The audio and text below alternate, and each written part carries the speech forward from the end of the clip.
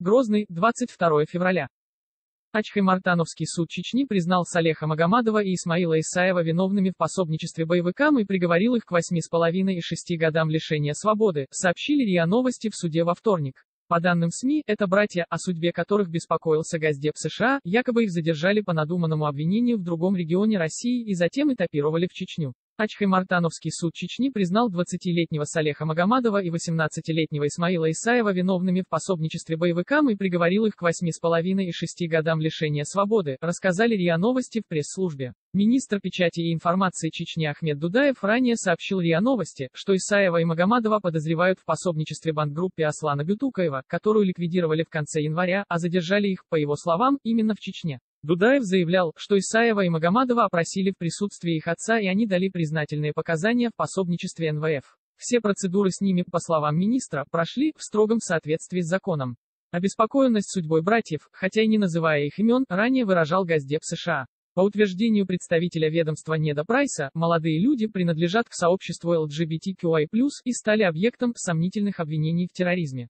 При этом Прайс не назвал конкретных имен, но о принадлежности Исаева и Магомадова к ЛГБТ ранее сообщала «Новая газета», а также ряд зарубежных СМИ. Власти Чечни о связи задержанных с сообществом таких людей ничего не говорили. Суд в Чечне приговорил к 8 и 6 годам колонии братьев Салеха Магомадова и Исмаила Исаева, год назад силой вывезенных из Нижнего Новгорода. Суд признал братьев виновными в пособничестве незаконным вооруженным формированием путем предоставления продуктов, часть 5 статьи 33 и часть 2 статьи 208 УК РФ. По версии следствия, Магомадов и Исаев передали пакет с хлебом и чаем одному из боевиков. Магомадову дали 8 лет лишения свободы, из которых один год он должен провести в тюрьме, а 7 в колонии строгого режима, Исаеву 6 лет в колонии общего режима. Братья свою вину не признали, они настаивают, что дело против них сфабриковано. Защитник Магомадова и Исаева Александр Немов в ходе прений заявлял, что уголовное преследование братьев связано с их критикой власти, сексуальной ориентацией и атеистическими взглядами. Обвиняли в оскорблении Аллаха, а в итоге причислили к исламистам.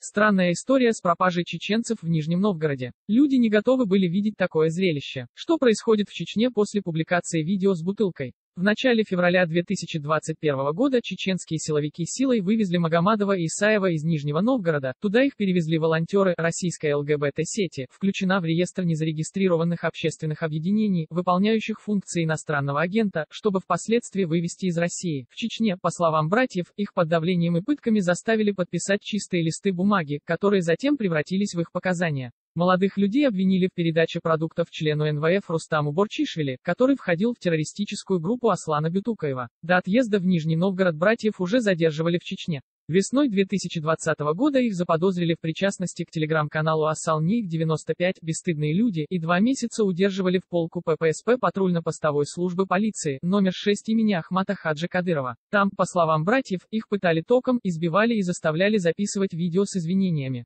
До этого, в 2019 году, младшего брата Исмаила Исаева задержали на улице в Грозном и обнаружили в его телефоне картинки на ЛГБТ-тематику. Молодого человека несколько дней удерживали в полиции и отпустили после того, как его мать якобы заплатила за него выкуп, рассказывали BBC знакомые Исаева.